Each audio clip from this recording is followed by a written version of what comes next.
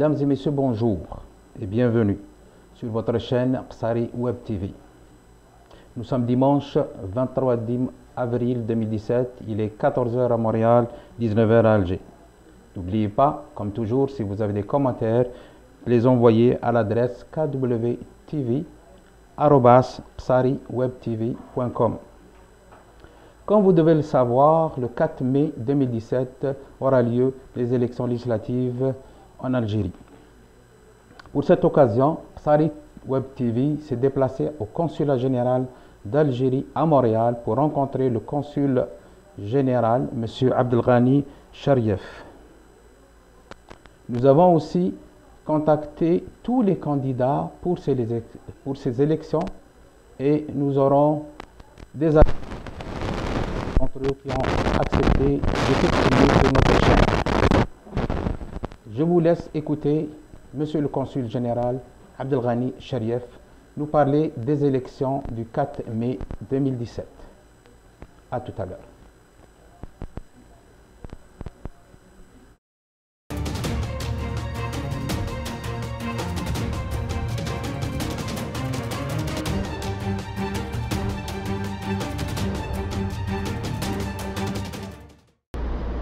Mesdames et messieurs, bienvenue à Xari Web TV où nous rendons aujourd'hui au consulat général d'Algérie pour rencontrer monsieur le consul pour nous entretenir des préparations et des déroulements des élections du 4 mai 2017. Tout d'abord, monsieur le consul, pourriez-vous nous parler des élections du 4 mai 2017 et quelles sont les particularités de ces élections?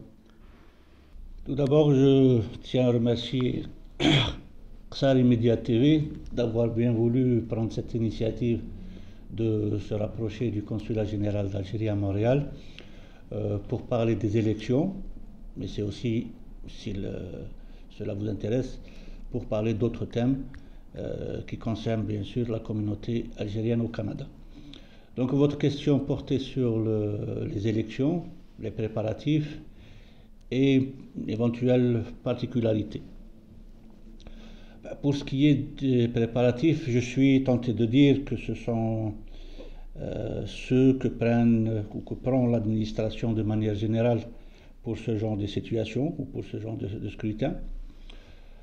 Euh, certaines sont prévues par, euh, par la loi, elle porte principalement sur euh, la mise à jour des, listes électorales, sur la, possibilité de faire les recours, avec à chaque fois des, délais qu'il convient de, respecter.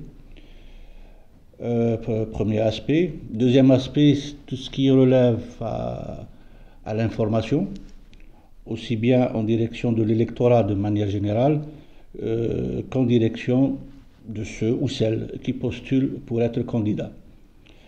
Euh, s'agissant du premier point, le plus important, c'est de rappeler à nos concitoyens certain nombre de, de, un certain nombre de précisions, comme par exemple celle qui consiste à dire que lorsqu'on est immatriculé au consulat, cela ne signifie pas qu'on est inscrit sur la liste électorale.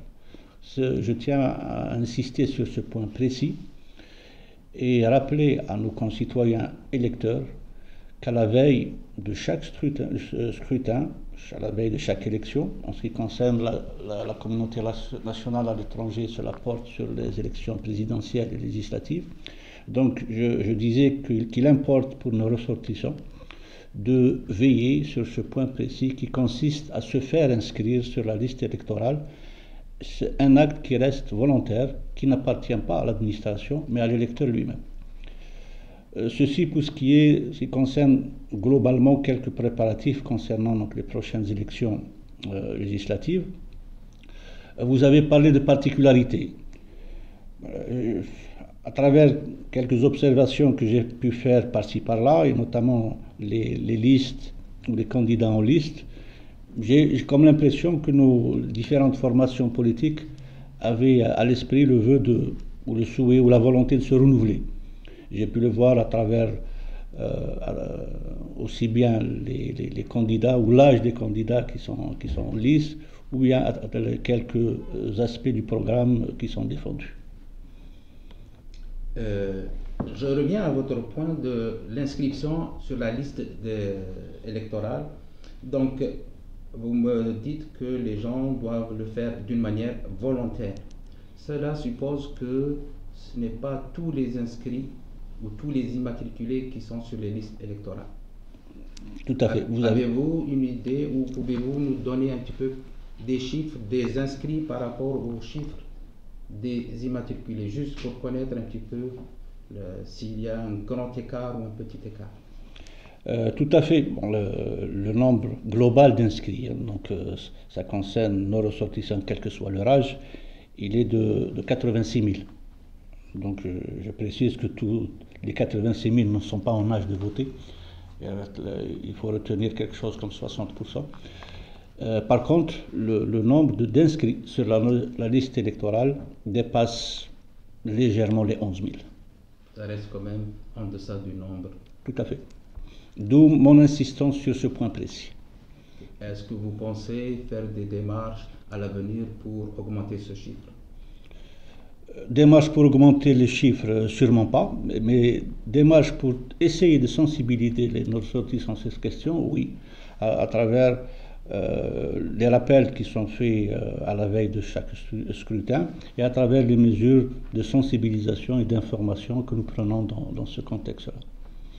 Vous avez parlé tout à l'heure d'une remarque de la situation par rapport au nombre de candidats. Est-ce que vous pouvez nous indiquer un petit peu le nombre de candidats sans citer les partis euh, Tout à fait. Donc, comme vous devez le savoir, euh, le Canada euh, fait partie de la zone 4. Je fais un petit rappel pour dire que la communauté nationale à l'étranger est représentée par 8, députés et 4 zones. Le Canada donc fait partie de la, de la zone 4. Et pour cette euh, zone-là, il y a 8 listes qui sont en concurrence. Euh, pardon, 12 listes qui sont en concurrence. Monsieur le Consul général, le Canada est un pays très vaste. Quels sont les, les, moyens déployés par le consulat ou les autorités consulaires d'une manière générale pour réussir l'opération des élections du 4 mai? Euh, Il est clair que euh, dans ce genre de, situation, la principale démarche à même de susciter une participation importante de l'électorat consiste à se rapprocher de cet électorat. Euh, je pense que vous avez compris, saisi ce que, que j'ai à l'esprit, c'est le fait de pouvoir organiser ou dépêcher des bureaux de vote en dehors de l'enceinte du consulat général. Malheureusement, en ce qui nous concerne, en ce qui concerne le Canada, nous n'avons pas cette possibilité pour la simple raison euh, qu'il s'agit là d'une décision des autorités canadiennes euh, qui ne permettent pas aux représentations diplomatiques et consulaires euh, d'ouvrir des bureaux de vote en dehors de l'enceinte diplomatique et consulaire. Il s'agit là d'une décision souveraine qui ne concerne pas que l'Algérie. Donc il faut savoir que le Canada, le gouvernement canadien, ne permet pas aux consulats et aux ambassades d'ouvrir des bureaux de vote en dehors de l'enceinte des consulats et des ambassades.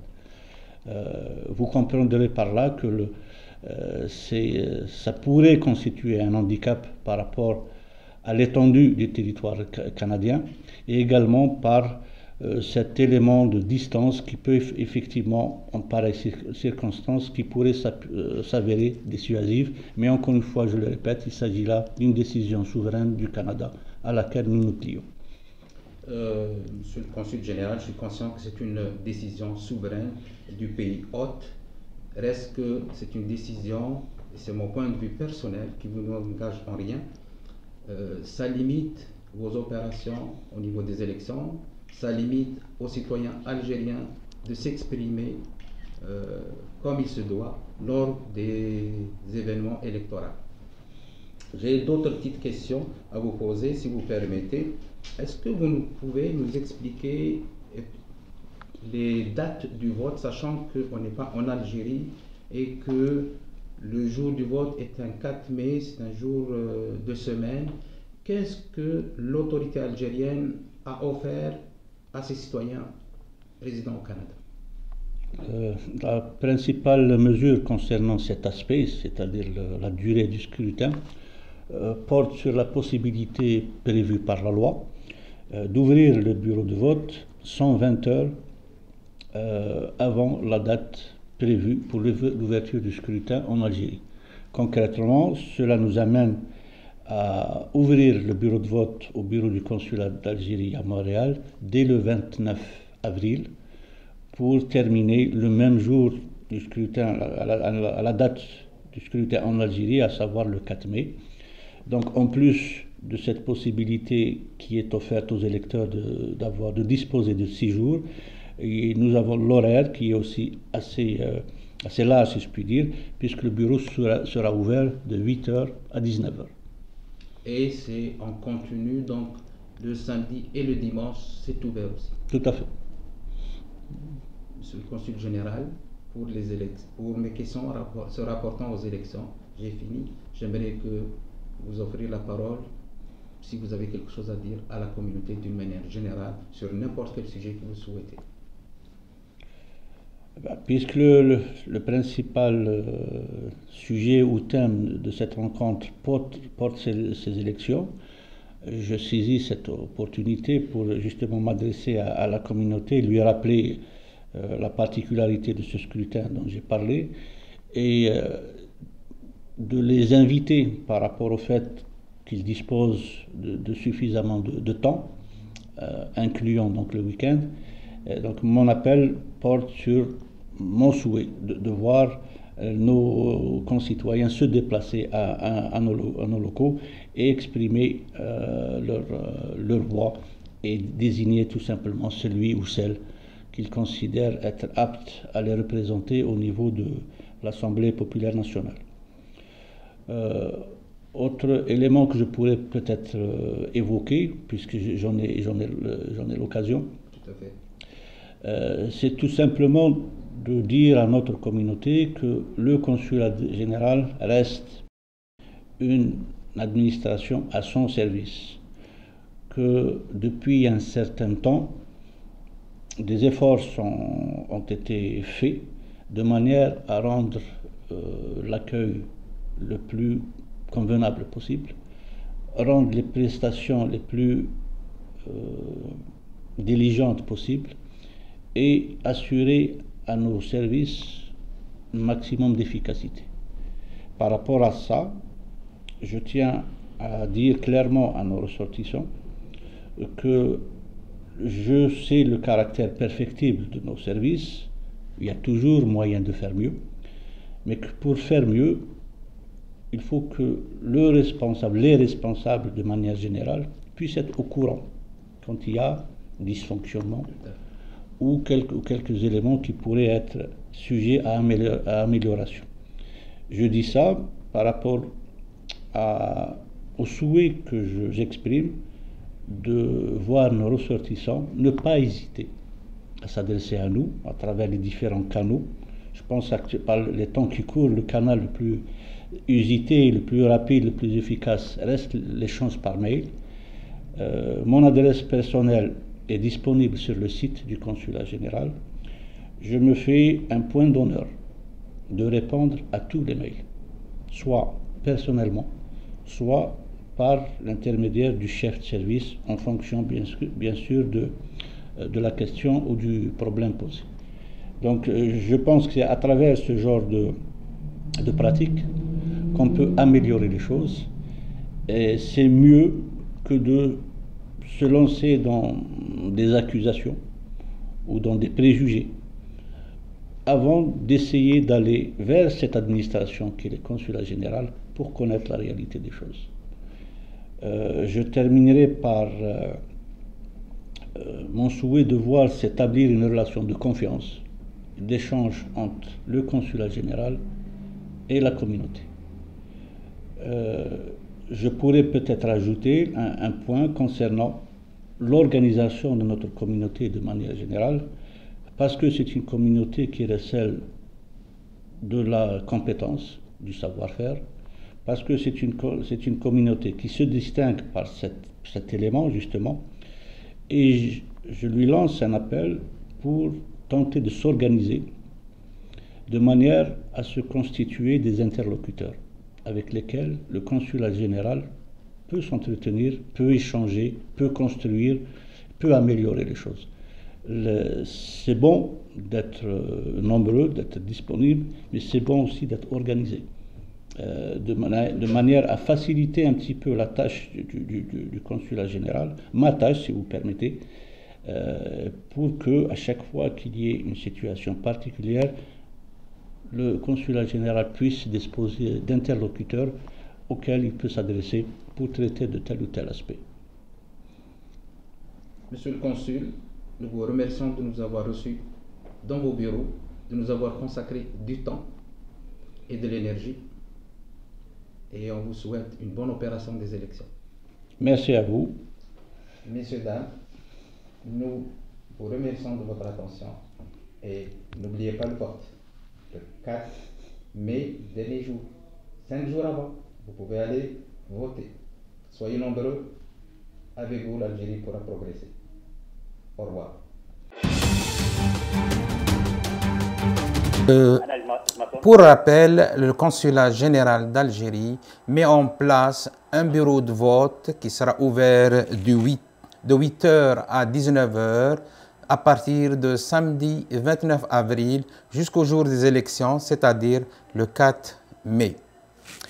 Sur un autre registre, je vais vous citer la liste de tous les candidats pour la zone 4. Je vais les énumérer dans l'ordre du tirage au sort qu'il a été fait. Donc nous avons M. Mohamed Arzqi Farrah pour le FFS, Farhat Yamina pour le FNGS, Ali Boujim'a Boussaïd pour l'Alliance Harakat Mujtama al-Silm, Gassib Houria pour Fajr al-Jadid, Dahoum, Dahmoun Abdelkarim, je m'excuse, pour le FLN, Dakhinat Brahim pour le FM. On a pour le ANR Belmehdi Noureddin, pour Tej Mizian Noureddin, pour Parti Al-Karama Hamza Mahdi, pour Alliance Nahda Adala Ibina Tbani Bahdi, et pour le Parti des jeunes Amin Sadaq, et enfin pour le RND Belarba Houari. Nous allons passer tout de suite à un appel de M. Sadaq Amin, candidat représentant le Parti des jeunes pour la zone 4. Allô? Allô Monsieur Sadaq Allô, monsieur Allô Oui. Monsieur Sadaq, bonjour. Bonjour, monsieur. Vous allez bien Oui, oui. Euh, Est-ce que vous pouvez vous présenter pour nos, télé, pour nos spectateurs, pour nos web spectateurs, s'il vous plaît? آه، يا بسم الله الرحمن الرحيم السلام عليكم خوتي في نورث أمريكا في كندا الولايات المتحده آه، توت لا زون آه، نيميرو 4 آه، انايا السيد صادق امين كان اكسبرت اون اي سي تي انفورميشن كوميونيكيشن تكنولوجي إكس ماثماتيك تيتشر أستاذ ماده الرياضيات Euh, je représente le, le parti de, des jeunes.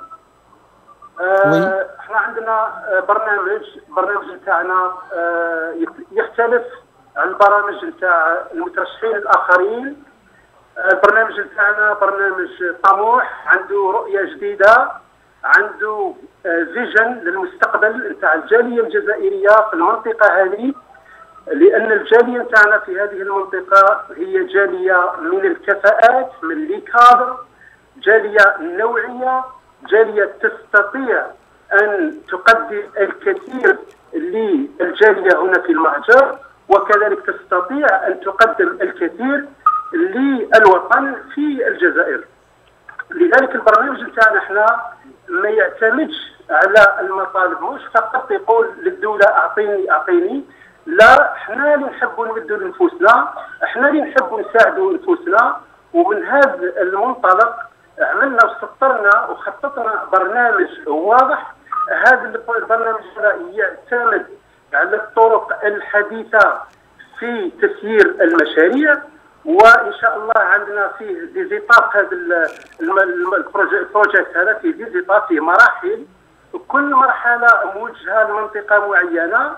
وإن شاء الله نعتمدوا على انفسنا أول نعتمد بطبيعة الحال على الله سبحانه وتعالى ثم نعتمدوا على أنفسنا والبرنامج هذا نتاعنا من يقودوا يقودوا الكفاءات والإطارات الجزائرية في الخارج. يكفينا يا جماعة رانا متفرقين يكفينا يا جماعة إحنا هاجرنا البلاد لأسباب متعددة وحنا هاجرنا البلاد لأننا إحنا ككفاءات وكإطارات كنا نظن بأن الطريقة اللي راهي تسير بها البلاد راهي خاطئة وكنا نظن بأن الرداء كاينة كثير في البلاد. مالا لما جينا إحنا هنايا اوروبا والأمريكا لماذا بقينا في الرداء وما قدرناش إحنا نساعدوا أنفسنا؟ فلذلك إحنا البرنامج نتاعي يعتمد عليكم أنتم أيها الإطارات أنتم أيها الكفاءات. أنتم اللي لازم تنهضوا بالجالية ونكونوا لوبي جزائري هذا اللوبي الجزائري هنا في الغرب يستطيع اولا باش يحافظ على مصالح الجالية وتصبح عندنا جالية فعالة ونخرجوا أبناء الجزائر وأبناء الجالية نخرجوهم من السوسيال ومن المساعدات تاع السوسيال ونخرجوهم وندخلوهم في عالم آه العمل وفي عامل مثل الناس اللي راهي تعمل والجاليات الأخرى اللي تطورت وتوصلت حتى ولما لا إحنا كجالية ما نقد ما تكونش عندنا نظره نظرة مستقبلية باش يكون في يوم من الأيام جزائري مهاجر من أبناء الجالية الجزائرية يكون هو رئيس كندا مثلا أو رئيس وزراء هنا في بريطانيا أو غير ذلك. إحنا نعرف بأن جاليات كثيرة مثلا وأنتم إخواني خاصة في كندا. أنتم راكم تعرفوا تقريبا أمريكا الشمالية كلها من المهاجرين. فلذلك إحنا حبينا نوضعوا استراتيجية حبينا نوضعوا خطة لمستقبل الجالية في هذه المناطق. وإن شاء الله لأن إحنا رانا متوطنين هنايا وأصبحنا نحملوا الجنسية تاع هذه البلدان. ولذلك فلازم علينا نوضعوا خطة مع بعض والحمد لله عندنا الكفاءات وعندنا الإمكانيات البشرية والمادية باش ننفذوا هذا المشروع الطموح اللي يجمع الجالية ميرسي ميرسي مسيو صدق votre message est bien passé. Euh, je vous souhaite une bonne fin de campagne. À bientôt. Merci bien. À bientôt. Merci bien. Barakallahu fikum. Salam alaikum. Salam. Restez avec nous, restez à l'écoute. Une page de météo et on vous revient avec un autre candidat. Oui, oui, je vous écoute. Allô? Allô? Monsieur Dahouman? Allô? Je pense que nous avons perdu Monsieur Dahmoun Abdel Hakim, le représentant du FLN. Allô? Est-ce que Monsieur Dahmoun est toujours avec nous? Non. Euh, on reviendra si on pourra l'avoir, si on, on, va essayer de le contacter. On va vous revenir. D'ici là, restez avec nous. Une petite page de publicité et on vous revient. Nous avons M. Hamza Mahdi, représentant du parti El Karama pour la zone 4. Monsieur Hamza, bonjour. Bonjour. Vous allez bien? Alaikum. Wa alaikum Très bien, merci. Euh, Est-ce que vous Et pouvez vous vous présenter dans un premier lieu pour les web téléspectateurs et nous présenter votre programme? Très bien, je suis Hamza Mahdi, 42 ans, père de famille de 4 enfants. Je conduis la liste El Karama pour la zone 4, diplômé en sciences journalistiques et de l'information. Et par la même occasion correspondant de Beurs pour TV. Oui, je vous écoute. Maintenant, pour le programme, euh, nous avons un programme bien détaillé. Euh, voilà. Si vous avez des questions ou Euh, non, non, on vous laisse parler. C'est à vous de nous présenter un petit peu votre programme, les points forts de votre programme, surtout ce qui est destiné à la communauté résidente à l'étranger, particulièrement aux gens qui résident en Amérique du Nord. Ben, euh, faciliter les échanges commerciaux entre la communauté nationale établie à l'étranger et l'Algérie. Ça, c'est un point fort de notre programme. Ainsi que encourager la création d'un jumelage entre les universités algériennes et les universités des pays d'accueil, dont le Canada. Développer la formation de nos jeunes en Algérie par le biais de nos prépensionnés, par exemple, issus de la communauté nationale à l'étranger qui ont acquis une expérience durant leur carrière professionnelle. Ça, c'est un des points forts de notre... Euh, et au niveau de l'environnement, euh, faciliter la concertation et le dialogue à l'environnement et la transition écologique en créant un socle de compétences entre les acteurs actifs dans les pays d'accueil, ainsi que la, et la commission d'environnement d'Algérie. Oh. Voilà, ça c'est nos points forts de notre programme. Euh, si d'autres questions euh, pour débattre, je ne sais pas.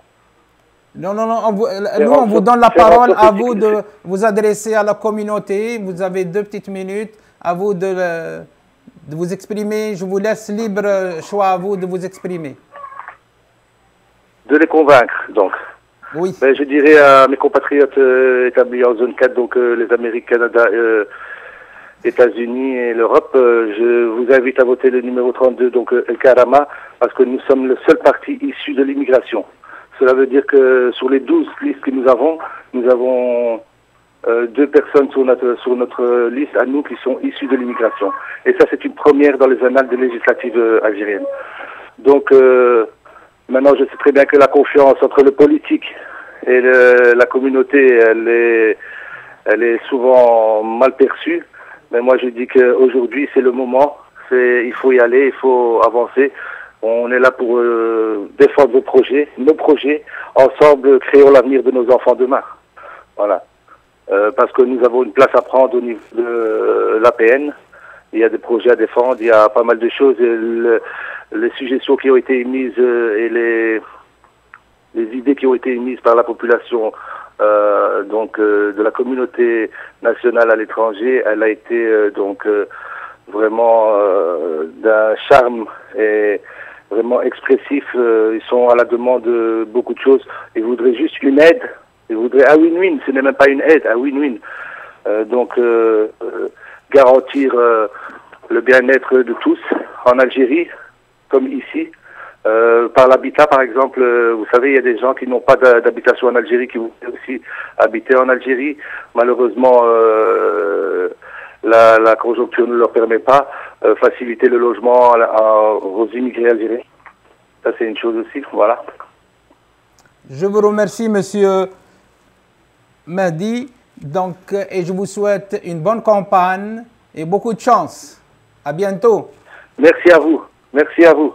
Merci à vous. Et je remercie tous les électeurs qui se sont, enfin, toutes les formations politiques qui ont pris part à, ce, à ces élections législatives pour, euh, c'est ce qui renforce la démocratie. Voilà. Merci. Merci. Au revoir. Merci à vous. Merci à vous. Merci, au revoir. Une page pub et on vous revient.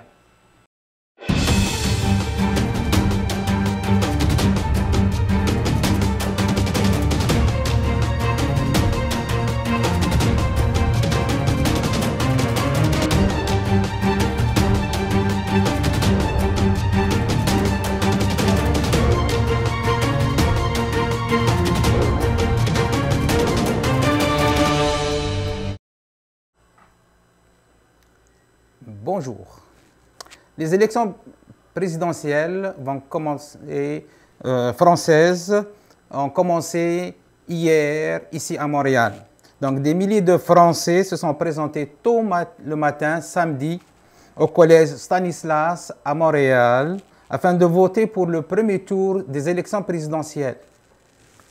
À 8 heures, dès l'ouverture des bureaux de vote, ils étaient plusieurs milliers et des centaines à attendre patiemment leur tour dans le froid et dans la grisaille. En fin de matinée, l'attente était d'au moins deux heures. Sur un autre chapitre, l'attentat de Paris. Jeudi, au début en début de soirée, un assaillant, connu pour ses intentions de tuer des forces de l'ordre, arrête sa voiture à la hauteur d'un quart de policiers garé dans le haut de l'avenue des Champs-Élysées, au cœur de Paris. Le conducteur sort et tire à l'arme automatique contre le véhicule des forces de l'ordre, tuant ainsi de deux balles dans la tête le policier de 37 ans. Puis il tire de nouveau vers les policiers qui ripostent et l'abattent. Le bilan, un policier tué, deux autres blessés et une touriste allemande blessée. Sur le registre de l'islamophobie, la communauté musulmane de Montréal est de nouveau stigmatisée. C'était lors d'une soirée bénéfice pour la sensibilisation à l'effet de tenir compte de la culture des jeunes musulmans dans le cadre de leur prise en charge par la DPJ. Et la présence de Nado Gabriel Dubois a provoqué la tollée de certains chroniqueurs de journaux de, à sensation qui ont accusé les organisateurs de l'événement de vouloir créer des DPJ musulmanes, chose qui a été démentie formellement par tous les participants. Sur un autre registre, aux frontières canado-américaines, l'augmentation des passagers illégaux. Le nombre de passagers illégaux aux frontières Canada-USA ne cesse d'augmenter. Voici quelques chiffres du nombre de passagers illégaux interceptés par la GRC en 2017. Juste pour le Québec, vous avez 245 en janvier, le chiffre passe à 432 en février pour atteindre 644 au mois de mars. Dans la province du Monitiba, 19 en janvier, 142 en février et 170 au mois de mars. En Colombie-Britannique, à l'autre bout du pays, à l'ouest, 146 en janvier, 84 en février et 71 au mois de mars. Et enfin, ce lundi 17 avril 2017, il y a eu la troisième édition de l'Arabe Kabyle à Montréal. C'est un événement qui est organisé chaque année par le réseau des femmes kabyles et amazir. On vous présentera un extrait à la fin de notre chronique. Il me reste qu'à vous dire, si vous avez des commentaires, n'hésitez pas à les envoyer, comme toujours, à l'adresse kwt, kwtv.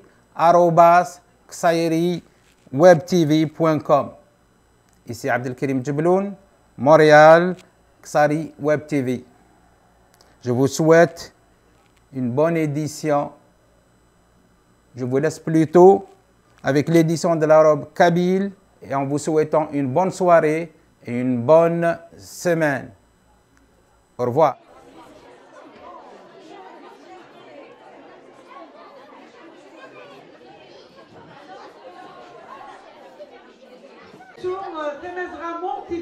Il est مسك جيرنا سمينا يعطيكم الصحة وسمع ليفينمون يديروا ينطبوا ليفينمون دايوغ كما كنا عمر زاهي هاني زاهي هاني زاهر هاني كما زاهر هاني بلامانتون كاين ولدنا تمثلنا ساميه فيمينيست القبايل معنا وقبل نعدي ساميه هادي نعاود لك شحال هذيك الجميله سبروبيت ولما هيدنا ساعة قبيليت معنا مزوير كيديتنا كيديت جميلة La robe de nos mères. Intelligence, pudeur, détermination et fierté. La robe kabyle incarne une identité, une culture, un mode de vie et une façon d'être.